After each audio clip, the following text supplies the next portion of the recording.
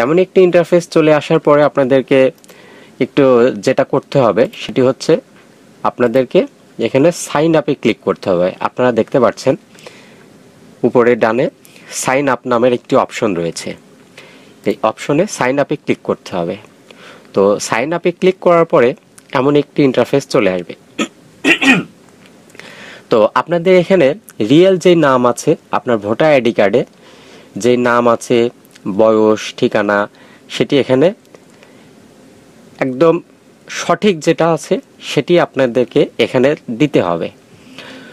তো এখানে একটা কথা বলে নেই, যেটি আপনার ডিভাইসে, ডিভাইস আপনার বলতে আপনার মোবাইলে যে ইমেলটা দিয়েছেন, দেওয়া আছে বা আপনার কম্পিউটারে বা পিসিতে, ল্যাপটপে যে ইমেল অ্যাড্রেসটা দেওয়া আছে, যে ডিভাইসটাতে যে অ্যাড্রেসটা দেওয়া আছে, সেই ইমেল অ্যাড্রেসটাই এখানে বসাবেন এবং ভোটার আইডি কার্ডে আপনার যে নাম আছে, সেই নামটাই এখানে বসাবেন। সেই নামটাই এখানে দিতে হবে।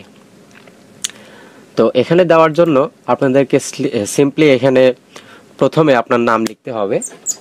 যেমন এখানে আমি আমার নাম লিখি। মোহাম্মদ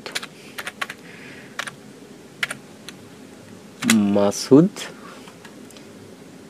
এখানে পারভেজ দিয়ে দেই।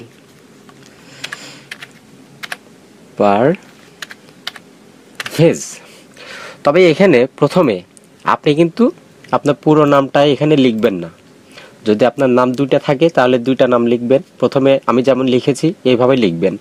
ফর এক্সাম্পল আপনার নাম অন্যটাও হতে পারে, অমক, ইসলাম অমক বা অমক রহমান অমক। তো প্রথমে আপনাদেরকে মোহাম্মদ, যেভাবে আমি লিখেছি, মোহাম্মদ মাসুদ, তারপরে পারভেজ।